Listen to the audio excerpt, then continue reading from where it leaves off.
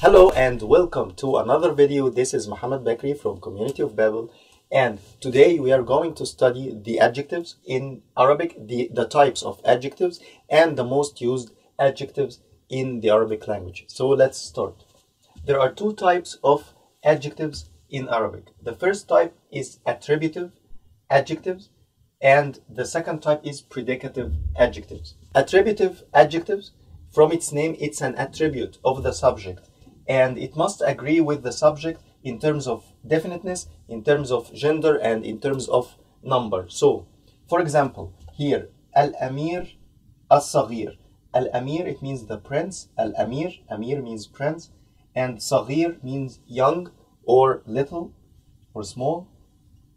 So, uh, Al-Amir Al-Saghir, uh, little or small, uh, when it's used with a human being, it means uh, young so the young prince, Al Amir Al Saghir. So it's a phrase, it's not uh, a sentence. Uh, here, Al Bint Al Jamila. Al Bint Al Jamila. Bint means girl. Jamila means beautiful. So Al Bint Al Jamila, the beautiful girl. Always, the, the adjective always comes after uh, the subject. So here in the attributive uh, adjectives, uh, it's not uh, it's not a sentence it just uh, it's just um, it's not it's not a sentence it's just an attribute of the subject. The second type is predicative adjectives. Uh, in predicative adjectives it's it's a complete sentence and it's used to describe the subject. So for example here al-amir saghir al-amir saghir the prince is young because in Arabic we don't use uh, verb to be in the present tense.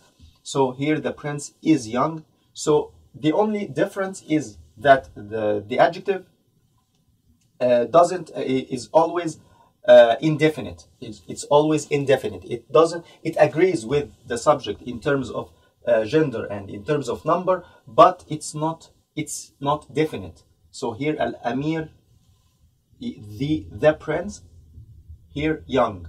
The prince is young. Al-bint jamila. The girl is beautiful. So what are the most used adjectives in the Arabic language? Uh, the first one is kabir, kabir, and the feminine is kabira. We just add ta marbuta, so kabira.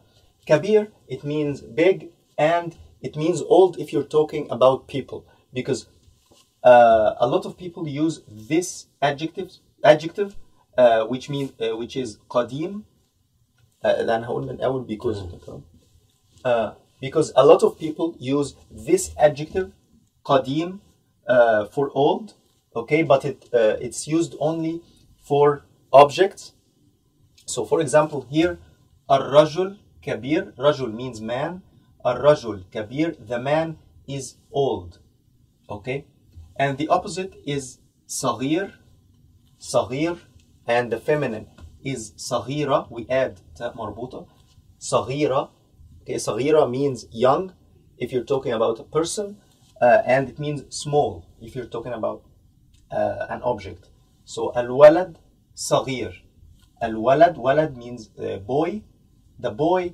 is young الولد صغير and here قديم uh, we have here the example السماعة قديمة سماعة means headphone the headphone is old السماعة قديمة so for objects we use this قديم or قديمة and the opposite is جديد جديد or جديدة جديدة we add تاء مربوطة for the feminine جديد means new so here الكتاب جديد الكتاب جديد the book is new the next one is kathir or kathira.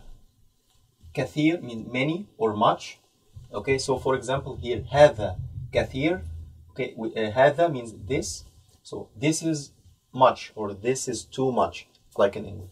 هذا kathir. In English, it would be this is too much. The opposite is qalil or qalila. If we add ta marbuta, qalila.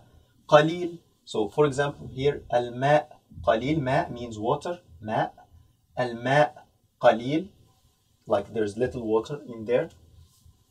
The next one is tawil. The, the feminine is tawila. Tawil. Tawila means tall or long. So here, al walad tawil. The boy is tall. Al walad tawil. And the opposite is qasira أو قصير. Qasir is the, the masculine. Qasir. Qasira, feminine, means short.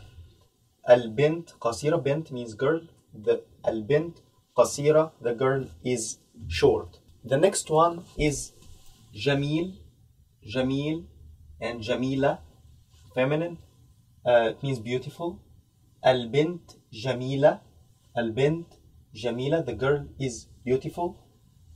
And the next one is jayyid, jayyid means good. Jayyid, and the feminine is jayyida, jayyida. So, for example, kitab, which means the book, kitab jayyid, the book is good. Kitab jayyid. And the opposite is sayyi, sayyi, sayyi. I know the pronunciation is a little bit difficult. Sayyi means bad. Sayyi'a, sayyi'a means uh, the feminine means bad. So al film sayyi, the movie is bad. Al film sayyi. So these are the, the most used adjectives in the Arabic language. I hope this video has been useful to you. You can subscribe uh, to our channel for more videos and you can visit our website for more lessons. Thank you and see you in future videos.